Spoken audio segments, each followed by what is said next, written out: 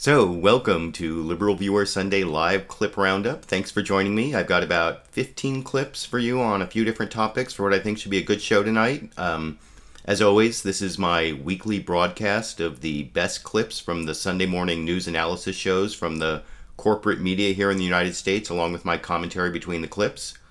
Uh, this week, I'll just be using clips from the Sunday morning news shows on the regular Big Five outlets of ABC, NBC, CBS, CNN, and Fox News.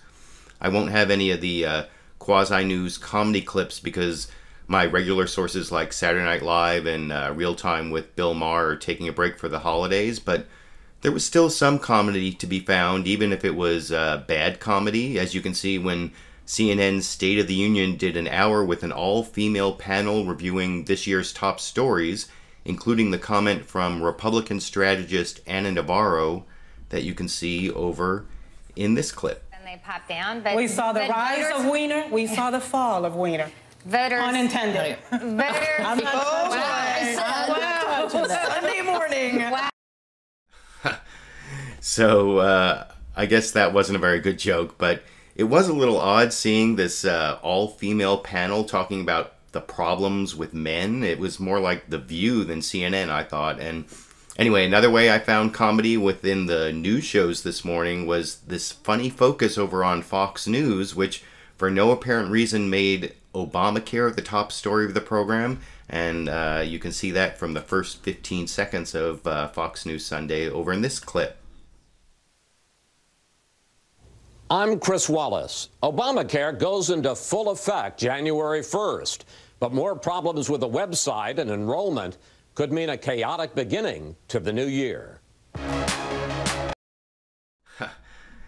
so, yeah, I, I guess uh, the possibility of future problems with Obamacare is what passes for breaking news over on Fox News. And it's almost like every Fox News program is required to spend a certain amount of time criticizing Obamacare. Um, anyway, I, I didn't think uh, this Fox News program broke a lot in uh, broke a lot of new ground on in their whole Obamacare discussion.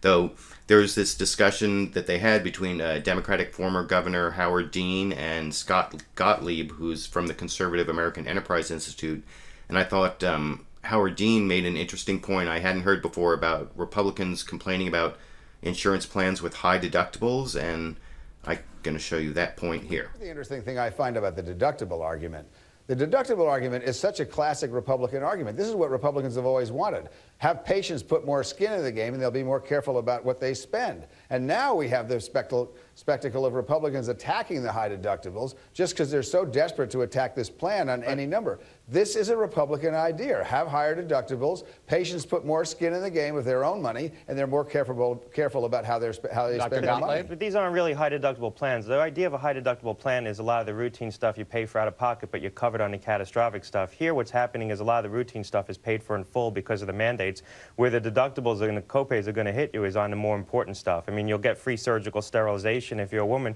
but you might not get cancer therapy paid for first dollar coverage on that. I mean, that's the problem with these plans. They're not truly high deductible plans in the traditional sense of how we think about them. Now, uh, that argument from Scott Gottlieb there criticizing high deductibles because they don't apply to preventative care is pretty stupid because, well, making people pay any deductible is, on uh, preventative care is stupid, um, at least from a cost saving perspective, because preventative care is, uh, by definition, almost uh, supposed to be money saving care. And certainly that uh, sterilization procedure he mentioned, I mean, that's a big money saver, both in terms of pregnancy costs and contraception costs. And I think Howard Dean was definitely right there that this uh, that higher deductibles are a Republican idea that Republicans are complaining about now because it's supposed to, like you said, give patients more skin in the game. And that was kind of the old republican plan was what it were called medical savings accounts where you're supposed to give people uh, tax deductions for saving money to pay for their own medical care that and because they paid for it they were going to uh, control costs in their own spending. Um, but i thought the uh, the big punchline to the fox news sunday uh, making obamacare their top story of the program was the way chris wallace transitioned from the, the next newsmaker segment over to the panel discussion uh, and i'll show you that over in this clip. Thank you, gentlemen. Thanks, Chris. Up next, our Sunday panel joins the discussion as the president tries to change the focus from Obamacare to extending unemployment benefits and raising the minimum wage. So yeah, I guess it was President Obama who was changing the focus from Obamacare to these unimportant things like the 1.3 million people losing their uh, long-term unemployment benefits uh, this last week, or uh, raising the minimum wage, which ha- which hasn't been raised in a really long time. And those are both topics I covered on my Liberal Viewer Sunday live clip roundup uh, last Sunday, so you can go back and watch that if you're interested in that. But uh, if there was anything that actually did approach breaking news uh, this Sunday. I mean, it it's kind of an old news story. It was uh, on uh, Benghazi. Uh, the New York Times put out an article, and I'll uh, I I think uh, down yeah in the video description below where I'm speaking, uh, I put a link to the article, and here's kind of a, a screenshot of what you see if you go to that link. It's called "A Deadly Mix in Benghazi." Uh, by David Kirkpatrick, who uh, did a lot of research, interviewed a lot of people in Benghazi, uh, and he came up with uh, some interesting conclusions that kind of uh, contradict a lot of the Republican talking points. Uh, first, I'll show you uh, I, one thing I thought was funny was the way uh, David Gregory over on NBC's Meet the Press introduced the topic. Although I was glad to see Meet the Press actually had David Kirkpatrick on, the the author, and I'll show some clips from him. But here, first, here's how David Gregory he at the you'll see at the very end he kind of like misspeaks in the way he introduces the topic on Meet the Press uh, over in this clip. Times report concludes there was no involvement by Al Qaeda in the attack that killed four Americans, including U.S. Ambassador Christopher Stevens. The Times also says in a piece out this morning that the attack was in part fueled by anger over an American made video critical of Islam. So, does this bolster the Obama administration's initial response to the attack and undermine its critic? Does it bolster the Obama administration and undermine its critic? I, that the misspeaking I was talking about is he said his uh, undermine its critic. Uh, I don't know. Is that sort of a, an oblique reference to Fox News, which has been the main critic of the Obama administration on Benghazi? Though I guess there were uh, several Republicans who were also critical. So anyway, um, uh, I did want to show David Kirkpatrick, the author of this uh, Benghazi story in the New York Times, talking about his findings. Uh, the two big findings were that uh, Al Qaeda wasn't really involved. Uh, I mean, there was the most tenuous of connections between the groups involved and the core Al Qaeda. And then the other big conclusion that contradicts the Republican talking points is that this uh, anti Islam video was a factor in sparking the attack. Uh, so, but first I'll show um, that uh, this is uh, how uh, David Kirkpatrick, from who wrote this New York Times article, uh, how he describes the very tenuous, if non-existent, connection between the people who did the attack in Benghazi and Al Qaeda over in this clip. Times report concludes there was no involvement by Al Qaeda in the attack that killed four Americans, including U.S. Ambassador Christopher Stevens. Oh, excuse me. That was the clip that I just played. Here, here's the clip of David uh, Kirkpatrick uh, explaining the lack of connection between Al Qaeda and the attack in Benghazi. Sorry, in this clip. Thing. Uh, uh, I've talked to uh, some of the people who I believe were lead perpetrators, and it, it's just it's just obvious from them and the people around them. They're they're purely local people. Their their pasts are known, their records are known, when they were in prison, who they hung out with in prison, who their associations are. There's just no chance that this was an Al Qaeda attack. If by Al Qaeda you mean the organization founded by Osama bin Laden. Now, uh, I've tried to understand uh, some of the statements coming out of the United States Congress blaming Al Qaeda for this, and the only way that they make sense to me is if you're using the term Al Qaeda a little differently. If you're using the term Al Qaeda to describe uh, even a local group of Islamist militants who may uh, dislike democracy or have a grudge against the United States, if you're going to call anybody like that Al Qaeda, then okay, uh, certainly there were some anti Western Islamist militants involved in this attack. Uh, uh, but to me, that's a that's a semantic difference and not a, a, a useful way of uh, answering the original question, which is, Right. did the group uh, founded by Osama bin Laden and led by Ayman Zawahiri uh, uh, lead this attack? So let me.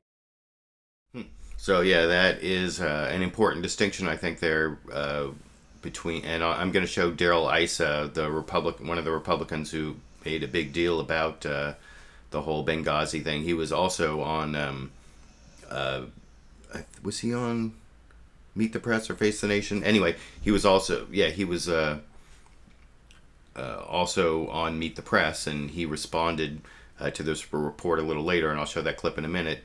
Um, and uh, his attempt to sort of backtrack while pretending he wasn't backtracking is kind of funny. But uh, before I get to that, I also want to show uh, another clip of David Kirkpatrick. This is where he's talking about uh, whether what um, Susan Rice said on those Sunday morning talk shows. You know, Susan Rice was ambassador to the UN at the time. They, some people say she didn't become Secretary of State because of uh, the way she was tied to this whole Benghazi Republican Fox News generated scandal. And anyway, here is uh, how David Kirkpatrick he actually did not completely exonerate Susan Rice, or um, but he said that she misled people in a different way than the Republicans seem to think. Anyway, here is uh, you can see that in this clip. I would say no, we're not bolstering that original assessment. In fact, uh, she made some clear misstatements there. This was not a street protest, uh, and it was not a copycat of what happened in Cairo. That was a, an unarmed street protest. This is a group of armed men who, inspired by a video, deliberately attacked the compound. And so what she's doing up what she's doing there through her misstatement is actually setting up a kind of a false dichotomy. Either it was a spontaneous street protest or it was an armed terrorist attack. And not, neither of those turns out to be exactly the case. It was an armed terrorist attack motivated in large part by the video. But that's the point. Yeah, so uh, and that's the second big Republican talking point uh, that uh, David Kirkpatrick debunks there, um, where, excuse me, he's uh, says, you know, Republicans have been saying that uh, the Obama administration lied by saying this thing was the result of a video when there was no uh, motivation from this anti-Islam video at all. And uh, what David Kirkpatrick is saying and what his research showed is that some people were in fact motivated by the video, um, even though he doesn't line up with everything that uh, Susan Rice said on those five Sunday morning shows that she went on uh, uh, back a couple weeks after the attack. Um, and, and, then uh, the final thing I want to show is that uh, David Kirkpatrick wasn't he wasn't like completely exonerating the Obama administration or the the problems in Benghazi. He said there were definitely security failures and there were also uh, intelligence failures. Um, but uh, it just doesn't fit with the Republican talking points, and I'll show you that clip here. Yeah, I would say in addition to inadequate security, th there was a real intelligence failure here. You know, there's a there's a substantial CIA operation uh, tasked with trying to figure out what are the threats to American interests among these militias, and it's clear that the United States fundamentally understood the dynamics of those militias. The people who attacked the compound were members of the militias the U.S. expected to help protect the same mission. All right, David. So yeah, I thought that whole uh, David Kirkpatrick interview was very interesting, and you know, especially because this Benghazi thing has been going on since you know September 11th, uh, 2012, before the presidential election, and Fox News and the right wing blew it up into this whole partisan issue. And uh, I mean, I always have thought that there were you know probably some problems with the security and the intelligence. You know what uh, David Kirkpatrick just said there but the the whole idea that there was a cover up and that there were lies and uh, there was this big you know conspiracy, I never really bought it, and I, I think this undermines it even further. But um, one of the uh, main purveyors of that conspiracy theory was Republican Congressman Darrell Issa from California, uh, my state, and uh, he was confronted with uh, what he said uh, about Benghazi several months ago, or a little more than that, and uh, he kind of backtracked, but tried to look like he wasn't backtracking, and I, I want to show you that clip here. Title to the facts. The American people were effectively lied to for a period of about a month. Oh, that I'm sorry. I, I, when I introduce that, I have to say the beginning of this clip is back from May uh, when uh, this is uh, David Gregory is confronting Darrell Issa with what he said in May 2013, and then you can see Darrell Issa's response. And, and anyway, that's this clip. Title to the facts: the American people were effectively lied to for a period of about a month. That's important to get right. Sure, and just want to be clear what you believe the lie was. This was a terrorist attack from the get-go. It was never about a video. Do you, have you changed your mind based on the New York Times investigation? Were you wrong about that? Well, the New York Times, quite frankly, David did some very good, David Kirkpatrick did some very good work. But interviewing people in Benghazi after the fact, after the world has been told about this video, is really not real time. So we have seen no evidence that the video was widely seen in Benghazi, a very isolated area, uh, or that it was a leading cause. What we do know is September 11th is not an accident. These are terrorist groups, some of them linked to or self-effacing or self-claimed as al-Qaeda linked. But I think David made, a, and I, before I go on, I wanted to make a very good point that David put out. Look, it is not about Al Qaeda as the only terrorist organization any more than Palestinian Islamic Jihad or Hamas or Hezbollah. But there you, no, no, but you. so yeah, he kind of backtracks on two things there. First, he, he's saying that they they're linked to Al Qaeda or they they may have some claim to you know aspirationally be part of Al Qaeda, which is that's a pretty tenuous link. And then of course for all those months, I heard the video had nothing to do with the attack in Benghazi, and now, uh, if you listen carefully, you heard uh, Congressman Darrell Issa say there it wasn't a leading cause, which is not the, quite the same thing as saying that nobody was motivated by that video, and it was an isolated area. Of course, you can see videos on cell phones, and of course, you can hear about uh, other people, you know, secondhand. Apparently, there were like sermons all over uh, the region uh, decrying the video, so you didn't even necessarily have to see the video. So anyway, uh, I thought that was kind of amusing seeing uh, Darrell Issa backtrack there. And luckily on Meet the Press, they also had um, Congressman uh, Joaquin Castro from Texas, uh, and he kind of pointed out the silliness of what Darrell Issa had done, and especially in light of this new information. And I'll show you that clip here. It certainly does, David, and I hope that Chairman Issa and others have learned a lesson from this. Uh, Chairman Issa and members of that committee crusaded for over a year on what was really a fairy tale, uh, claiming that the administration knew that Al Qaeda was involved and wouldn't admit it. And the fact is that when a tragedy like this happens, whether it's something like this or a mass shooting at a school, there's a lot of information that comes out at the beginning that later has to be verified. But the important thing is that Susan Rice and the administration were trying their best to level with the American people. And, and uh, some of the information that came out early, although it may have been wrong, uh, that was their best effort. Uh, Darrell Issa and others took that and crusaded against the administration uh, in a way that I think has been a big distraction for the American people. Let me ask.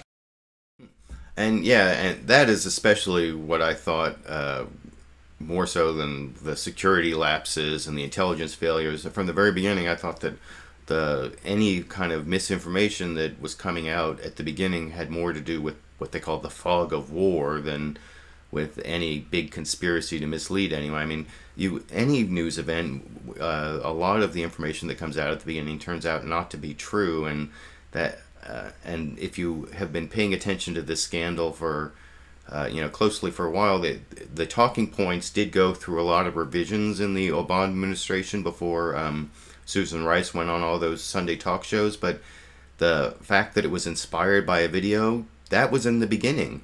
Uh, the fact that it was you know like a, a spontaneous or like an attack that uh, resulted after some sort of spontaneous demonstration resulting as a result or resulting from anger over this video that was in all the versions of the talking points. Uh, even so the revisions didn't add that. That was there from the beginning. So i don't see the conspiracy and i think this is just a, another another straw breaking the Benghazi camel's back, maybe. I don't know.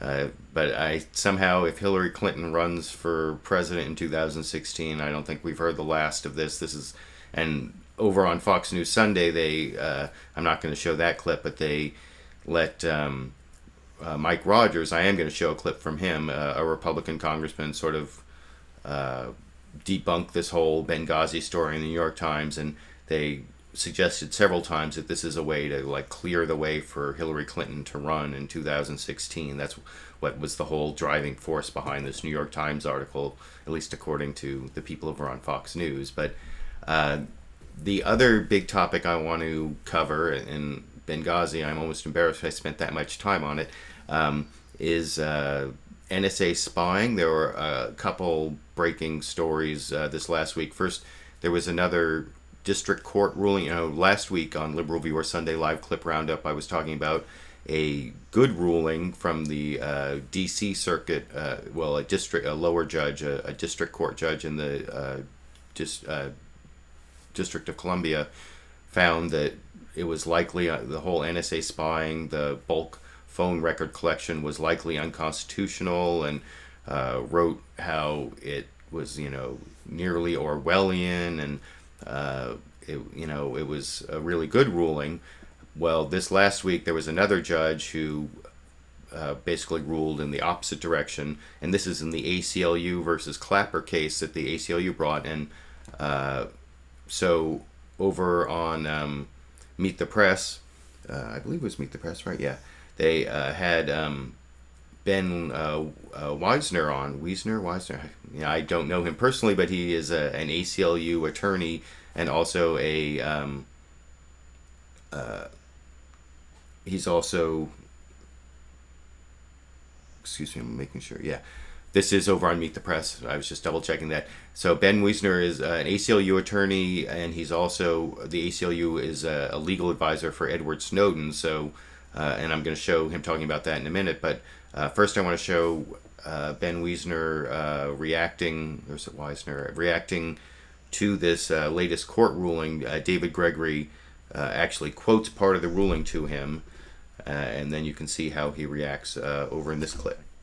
No doubt the bulk telephony metadata collection program vacuums up information about virtually every telephone call to, from, or within the United States.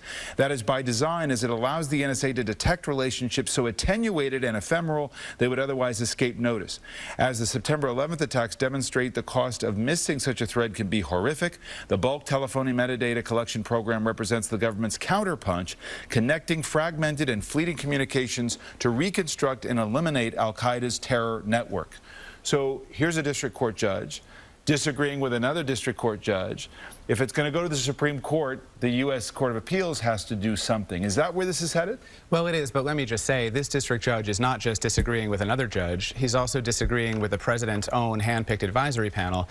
That panel, which included a former top-level CIA official, uh, a former uh, counterterrorism, counterterrorism advisor, concluded that they had seen no evidence uh, that the bulk telephone metadata program had uh, been uniquely successful, had stopped any kind of attack. So there is a dispute about whether this is, uh, you know, effective or even legal. But yes, um, I think we always expected that there would be differences of opinion in the lower courts. Uh, there's no question that it's time for the Supreme Court to weigh in uh, and to see whether, as we believe, the NSA allowed its technological capabilities to outpace so democratic control. One of Stone's yeah, so uh, I thought that was a, a, good response there. And then uh, another good response uh, uh over on Face the Nation, uh, Jesselyn Radack, who's another legal advisor to Edward Snowden, she also reacted to this latest court ruling. Um, and I want to show you, uh, she was talking to Major Garrett, was in for Bob Schieffer on Face the Nation, and I'll show you that clip here. Willingly. I think it's very different if I choose to give personal data to Facebook to keep my family members up to date than giving personal information to the government, which is backdooring Twitter and Facebook and all of these social media. I think uh, Judge Pauley's opinion turns on the idea that if we collect even more data, we're doing less targeting. But that actually inverts the constitutionality of the Fourth Amendment, which requires individualized suspicion and probable cause and targeting in order to surveil someone. Uh, so yeah, I definitely agree with Jesselyn Radack there that uh, this opinion does sort of turn the Fourth Amendment on its head, and uh, uh the other thing that really disturbs me about it is it gives a lot of uh, new talking points to Republicans who have been saying that it's not unconstitutional. And I, I want to show uh, Representative Mike Rogers, who's this former FBI agent and head of the uh, House Intelligence Committee. He uh, was also talking about Edward Snowden, and I'm going to show a couple. Uh, I'm going to debunk a little what he says about Edward Snowden, but he starts off. Um, this is uh, first Chris Wallace reads some quotes from Edward, Edward Snowden. Just gave a couple interviews, and he uh, made this uh, on Channel Four in Britain. Gave the alternative Christmas message where he said some things about you know the loss of privacy. Uh, but anyway, in this recent interview, he kind of dissed some uh, people in Congress, including Representative Mike Rogers, saying that uh, the reason he had to do what he did was because they weren't doing their job. And so uh, Chris Wallace, uh, at least to his credit, uh, reads these quotes to uh, Mike Rogers and lets him react, and then um, which ends up in a big smear on Edward Snowden. Anyway, you can see it in, in this clip. Washington Post interview. Uh, Snowden asks and answers the question, who elected him to reveal all of these government secrets? And his answer is that he says that it was the overseers of those programs. Let's put up specifically what he says. Dianne Feinstein elected me when she asked softball questions in committee hearings, he said. Mike Rogers elected me when he kept these programs secret. He says he's doing the job that you failed to do. Yeah, well, you have to remember this is somebody who had a troubled employment history, who ran to China and Russia. He stole American classified documents that, because of their release, jeopardizes our troops in the field in places like Afghanistan and has allowed nation states, Russia, China, and others, to have valuable insight in the way our intelligence services operate to collect information to keep America safe. That's who the messenger is, number one. Number two, the most recent court case, this happened uh, just a few days ago by Judge Pauley, laid out very succinctly the oversight of the NSA program. And I think there's a big confusion about that this is Obama's program uh, that he instituted when he was in office. This is a program that was uh, initiated after 9 11 because we missed a big piece of information. So both of the chairs of these committees, all of the members of these committees are fully briefed on all of these actions. It is our job to make sure that they comport with the law. We do that. We take that very seriously. I think all of that happened, and I think this most recent judicial ruling is important for one reason. It reinstituted faith in the institution of judicial oversight, congressional oversight, and the uh, checks and balances within the executive branch. I, I... Mm, no.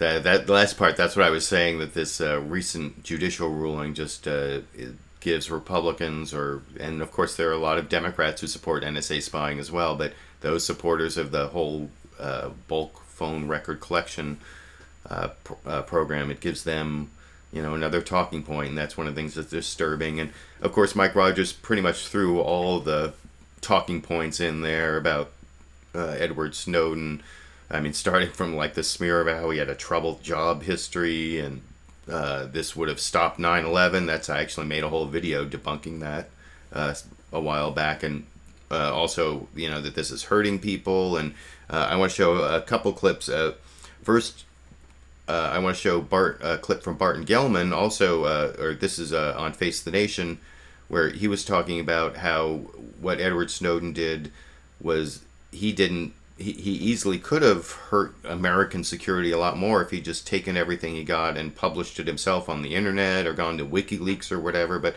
he didn't do that. He gave it to journalists who were supposed to vet it. And uh, anyway, this is Barton Gellman, who, along with uh, Dave uh, Glenn Greenwald, is uh, one of the uh, journalists who Edward Snowden leaked to. Uh, and here's Barton Gellman explaining how it was much more responsible than just disclosing all the secrets. Uh, anyway, you can see that here. Well, it's clear Snowden is well aware that the reporters uh, in whom he's entrusted uh, these decisions have held back lots of material in the archives that would disclose particular targets, particular techniques, uh, particular uh, places where certain technologies are used. Uh, that's something have, you've done. And that's something that I've done that he wanted us to do. He asked us not to dump out the documents. If he'd wanted to do that, he would have done it himself. He was more than capable of, of, of doing it that way, posting the whole thing on the internet. Uh, he wanted us to use our judgment about what was newsworthy, what raised big policy questions for the American people, and what would do uh, too much harm, what would, what would be harmful. And so we consult on every story. The, the NSA, the Director of National Intelligence, knows every detail in every story before we publish it. They have an opportunity to tell us what they think would be especially harmful. Almost always, we accede to those requests. Barton Gellman. Yeah, so there you can see Barton Gellman explaining how it is that uh, the leaks from Edward Snowden have not really been uh, harmful to U.S. national security, haven't cost lives, and that it's all very responsible and uh, vetted by journalists. And uh, so that's kind of one uh, response to some of the stuff that you hear from the people who attack Edward Snowden. And then uh, another thing I want to show uh, people say that if he, you know, really were a whistleblower, he would have stayed and faced charges. And I would show Ben Wizner again uh, over on Meet the Press talking about some of the problems with uh, trying to stay here and face the charges uh, because of the way that uh, other people have been prosecuted under the Espionage Act. You know, uh, last week I, I, was saying how. as a lawyer, you know, hypothetically, it would be you know, it's interesting to think about trying to defend someone like Edward Snowden because of the justification defense. But uh, looking into that more, I've seen that people who have actually been prosecuted under uh, the Espionage Act, judges have said that they can't even use that defense. They can't even mention being whistleblowers, or they can't make an argument about the greater good. And uh, anyway, I want to show. Uh, this is Ben Wizner back on Meet the Press talking about that problem here. Circumstances, what are you doing? Here's the problem with that. The, the law under which Mr. Snowden is charged, the 1917 Espionage Act, a World War I era statute, doesn't distinguish between leaks to the press and the public interest, and I think that we can all agree that some of this information has been profoundly in the public interest, uh, and someone who sells secrets to an enemy for, for personal profit. And in fact, the Department of Justice has argued in legal cases uh, that it's actually worse, a worse violation of the law to leak to the press than it is to sell it to an enemy because all enemies get to see it. Well, well that's true, but the American public also gets to see it. And, and in a democracy, it's very, very important. But he took an oath not to disclose classified information. That's not right. He took an oath to follow the Constitution. Now, he certainly signed the same standard classification agreement that everybody else signs, but his oath was to the Constitution.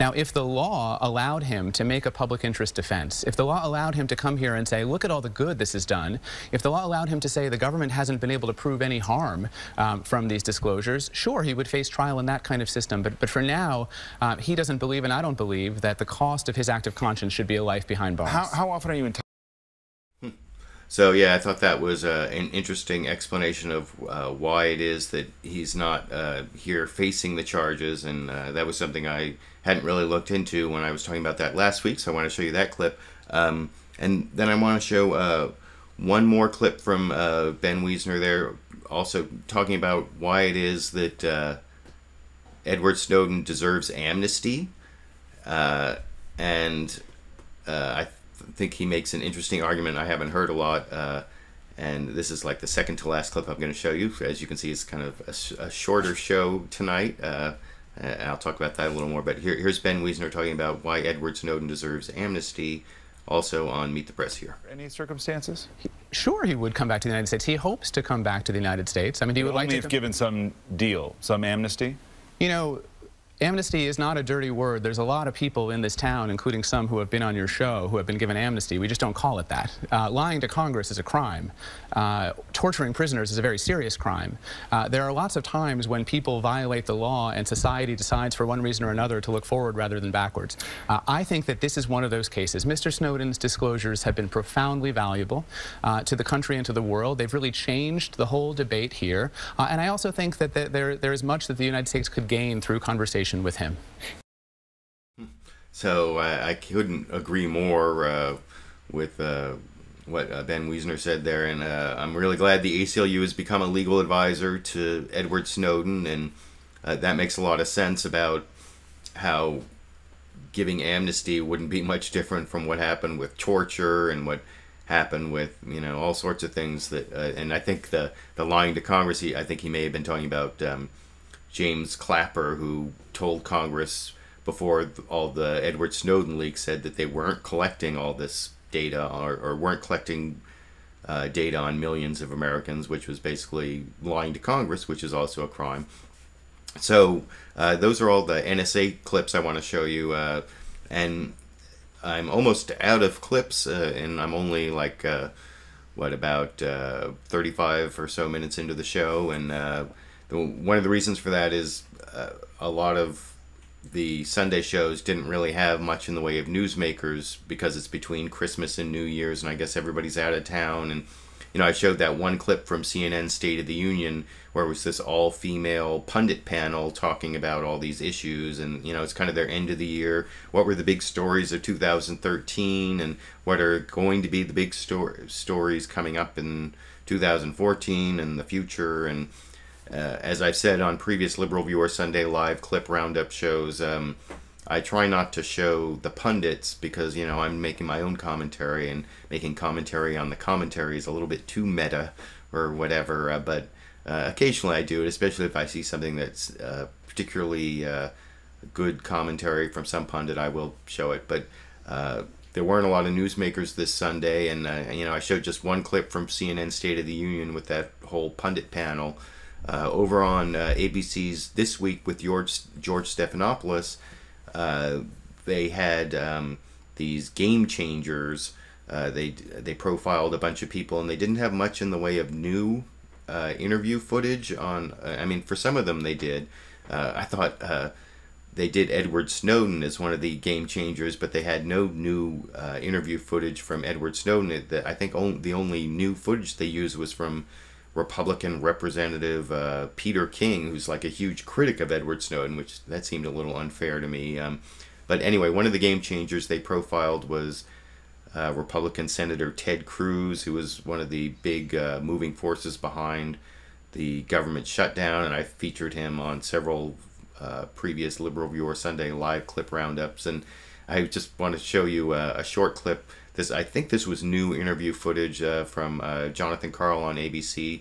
Must have talked to Ted Cruz. Anyway, he asked him about how uh, Senator John McCain and some other uh, Republican establishment people had called him and the Tea Party people wacko birds.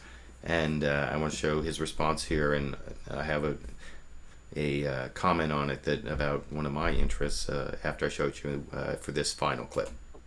If standing for liberty if standing for free market principles in the Constitution makes you a wacko bird, that, that I am a very proud wacko bird. A supporter even made a wacko bird hat that Cruz proudly displays in his office. now, uh, what I thought was really interesting about that clip is uh, that wacko bird hat. Isn't that a copyright violation? That look, I mean, Disney. That was, or no, uh, no, that was Warner Brothers. Wasn't that? Uh, um, that wasn't Donald Duck. That was Daffy Duck. But I guess Daffy Duck is the the wacko bird there. So that's that's a Warner Brothers cartoon. That's a big copyright violation. I'm I'm shocked to see copyright violations going on in the uh, office of a U.S. senator. But uh, anyway, so that's the final clip I want to show you from uh, the Sunday shows this morning. Uh, I get I had about 15 clips and a couple. Uh, I, I had I showed you a still there, and but uh, I want to take a quick look here. It looks like um, we got about 80 people as my uh, top number of uh, viewers. Uh, yeah, like right now. Oh no, it looks like over 90 people watching, uh, even on this. Uh, uh, on this sort of holiday off time, a lot of people are with their families, I guess. But I do want to try to get to a, a few of the comments, and, uh, then I'm going to have a short show. Uh, I think I'm going to go for maybe another five minutes and uh, see what's in the comment section here. Uh, I'm going to try to go for some on topic uh, commentary because uh, I will take comments on any topic when I'm doing my Liberal Viewer First Wednesday live Q&A. That'll be this Wednesday, January 1st. I always do it at 4:30 p.m. Pacific time on the first Wednesday of the month and the first Wednesday of the month uh, in January happens to be January 1st. So I'll be taking questions on any topic and I'll try to post that like a day beforehand so people can post comments or questions beforehand, especially legal questions. I like to do a little research before the show, and I think my show last uh, month was pretty good because I got to do some legal research. So look for that. Um, but I'm going to see what I've got here. Uh, I see uh, a few off topic comments, but uh, I don't know what the Yeah, I don't know what that uh, thing is about this word somebody wants me to say, but I will say it if you show up for Liberal Viewer first Wednesday, live Q and A. Uh, but uh, let me see if anyone has anything to say about NSA spying or Obamacare or this whole Benghazi thing. Oh, Pat's Rule 213 says if you want comedy, watch Fox News. Well, I did show some Fox News comedy. Uh, Pokemon Bank gets delayed thanks Obamacare. I don't know what that's. 280 bucks for one. Yeah, okay. But looks like you're all arguing with each other about some of the Obamacare. Oh, Hans Blitz says Benghazi is only not a scandal for Obama fans, even though it wasn't his fault. Well, I mean, it depends on what you mean by scandal. Uh, I mean, it was definitely a bad thing that happened, and uh, they uh, there was not enough security, but there was all. I mean, there was this whole like CIA untold story. That that was one. Some of the clips I didn't show was they were talking about how this uh, you know there was an attack on the compound and then also the annex which was this whole different area and the annex was this cia uh, like air the cia was supposed to be disarming these militias or like working to disarm these militias that ended up attacking them. And anyway it was like this whole intelligence failure. So there was definitely bad things and stupid things that the Obama administration and the CIA did in Benghazi, but it wasn't a scandal in the way it was played for the 2012 election. I'm sorry, I'm getting kind of a dry mouth here, so I'll do a Marco Rubio, which did show up on one of the Sunday morning shows, but I didn't take that clip. Um, but I just don't think it was a, a political scandal, or it wasn't the scandal the Republicans claimed it was uh, for all that time. So um, it, it, uh, I'm not sure I can agree with what uh, Hans Blitz said there. Uh, let's see. Um, seems you're all arguing about how much you owe if you don't get insurance on Obama under Obamacare. It's something like ninety dollars the first year. Um, 95 I think it's $95 the first year but it goes up every year um, I see you're all arguing about that in the comments section. Uh, uh, Steve Eniver says, "Arg, Issa, yeah, and Issa, he didn't. I don't think he did a good job there." Uh, NO8549 says government is still covering up info about JFK assassination as well as 9/11. No doubt, ISA. well, yeah, I don't know. I, I don't know what to say about. And then uh, Hans Blitz says, "What's this obsession with Al Qaeda? There are many other groups of Mohammedists or Moha- yeah, of Islamists or whatever. Yeah, that's the thing. That I mean, that's basically what this New York Times story said is that there are a lot of Islamist groups and."